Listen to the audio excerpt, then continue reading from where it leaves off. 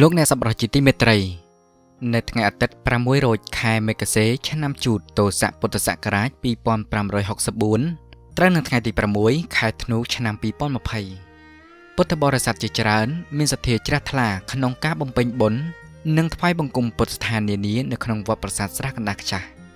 ដែលបានអញ្ជើញមកពីគ្រប់មជ្ឈដ្ឋាននានា ដែលឡែកនៅក្នុងថ្ងៃនេះរួមមានពុទ្ធបរិស័ទអញ្ជើញមកពីខេត្តបន្ទាយមានជ័យនិងពុទ្ធបរិស័ទអញ្ជើញមកពីក្រុងប៉ោយប៉ែតបានចូលរួមត្រួតត្រងការសិក្សារៀនសូត្ររបស់សាមណសិស្សត្រួតត្រងចង្ហាន់ព្រះសង្ឃ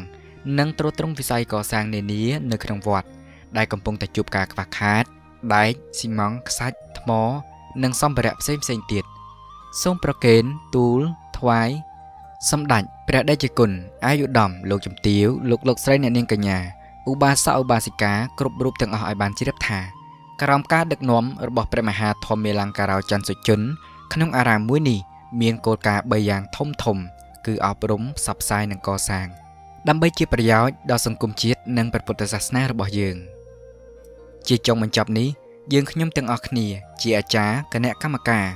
សូមជូនពរពុទ្ធបរិស័ទទាំងអស់បានជួបប្រទះនឹងពុទ្ធពរទាំងឡាយ4ប្រការគឺអាយុ វណ្ណៈសុខៈពលៈកុំបីឃ្លៀងឃ្លាតឡើយ